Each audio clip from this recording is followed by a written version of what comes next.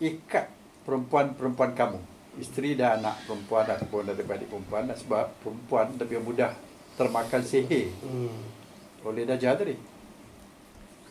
Jadi kalau yang Ali cakap tadi pasal ustaz tadi, artinya dia termasuk dalam golongan itulah.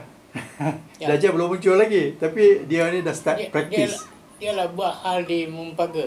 Ah. Tak bagi budak-budak uh, pergi sekolah naik bas. Naik bas saya, saya bawa bas di Mumpaga, Ah. tak bagi naik. Oh. Pasal jangan semua pergi belajar sekolah kafir. Oh. Oh, saya pegang lah ustaz tu. Engkau Bagus. ustaz apa? Bagus. Engkau ustaz apa? Ha. Siapa ustaz mana? Ustaz Belda. Bukan ustaz beda, daripada Batu Talam.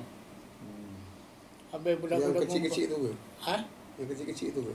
Yang ke- kecil-kecil dia tinggi tinggi lebih kurang so, bang. Lupa nama dia. Muka dia ingat. Ha? Muka dia ingat. Nama tak ingat. Hmm. Anak-anak anak-anak peneraka 10 orang Hmm.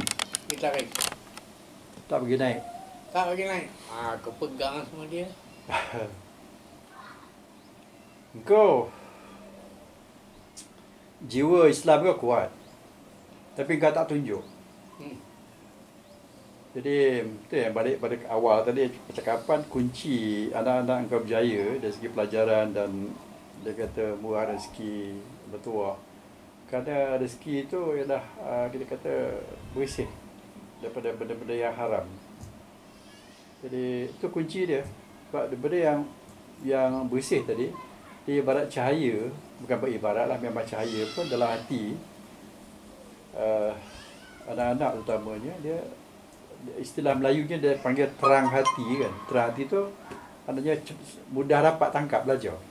Aku ingat balik aku baca sejarah aku ce- check balik sejarah aku masa aku sekolah menengah. Kita tak mampu beli sebuah pun aku lah. Kakak aku beli dapat beli. Sebab masa tu bapa ada duit sikit. Zaman aku jadi pelajar sekolah eh, menengah tingkatan 1 sampai tingkatan 6. Sebuah buku pun aku tak mampu Hmm. Beli bila aku kerja part time dapat duit giliran lori tampung untuk beras Hmm. bila ingat balik eh betul lah aku lupa lah. Duduk sekolah menengah kan satu buah buku pun aku tak mampu beli. Tapi bila aku jadi cikgu kata bukan nak cerita untuk bangga diri lah tapi ajaib ya Allah beri peluang. Kita bagi buku-buku apa beli untuk budak miskin boleh bayar yuran sampai kawan-kawan kata kau ni rugi lah dia kata. Dia orang ni ada mak ayah. Kata tak rugi rasanya sebab bila dah kesian tak tolong uh, kesian budak tu tak boleh belajar artinya bayar untuk dia dah lah.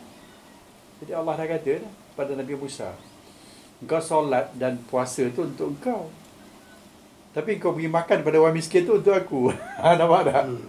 kan ha, tu Nabi Muhammad terus eh. Alinya kemudian uh, apa dipanggil uh, Hasannya Husainnya mostly every day dia bagi sedekah. Yang bila dia umur dia beransur tua sikit Ali umur dalam 50-an dia dah mula ada harta. Pasal dia muda miskin. Umur 30-an tu masih lagi miskin. Umur sekitar 40 ke atas tu dah mula ada harta. Sebab tu lah anak dia Hasan dengan Husain tak payah kerja. Duit yang hak terkumpul lah cucu dia Ali Anafiah dia boleh bagi sedekah lagi pada orang sampai ratus-ratus uh, dinar emas. Ratus-ratus uh, ribu dinar emas dalam sejarah hidup dia. Sebab uh, dipanggil Allah bagi dia apa ni, bantuan kewangan tu hartanya bila dah hujung umur. Jadi tak heran. Tu macam aku sendiri aku kaji dah uh, takdir aku nampak tu cak bincang, bincang juga dengan beberapa adik-adik sepupu ha, sama peranan ada sama berniaga macam ini kali ni lah kita Allah bagi peluang minggu depan je lagi last bila dapat kita selesaikan banyak benda Pola. ha? apa dia? Oh nak ajak balik. Oh ya. Nak balik ke Tuan Loh ni? Oh balik tunggu je. Lu Berapa hari ke sana? saya Besok tunggu sampai tunggu sampai Jumaat cucu cucu aku nak kahwin. Ha? Bila? Cucu. Bila? Bulan 2. Bulan dua. Oh, oh maknanya sampai ke cucu kahwin bulan tu baru nak balik Kuala Lumpur. Selama ni duduk rumah. balik ke Raub. Enggak semalam semalam. Balik ke Raub. Nak balik ke Raub. Raub ada rumah lagi? Eh rumah tu jual dah. Dia? Rumah tak jual, rumah bagi sewa. Mana pula rumah Raub kan dah jual. Mana? Bapak dah lama dah jual rumah tu, rumah tamu ibah. Tapi tu. nak balik ke mana? Ada ceroh adik-adik dia. Oh, ada ceroh. Adik-adik semua tu ada. Oh, adik dia. ayahnya. Okay. Semua di situ, bongkok situ belaka. Kau uh, makan okey, kau tak ada penyakit tak? Ayah tak ada penyakit Raub. ada ni je lah setakat lupa-lupa gitu sikit. Kaki-kaki semua boleh berjalan. Okey je. Cuma slow lah berjalan. Jantung Uh, uh, mana ada? Sihat. Tak ada apa-apa. Paru-paru? Kencing, kencing manis tak ada paru-paru tak ada.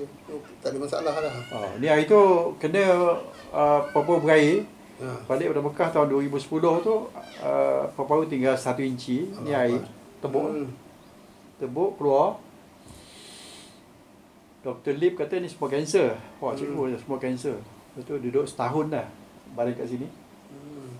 a year tak boleh berjalan lepas tu bila dah dalam setahun tu sekali pergi ke klinik dia kata eh cikgu kawan lah kan klinik.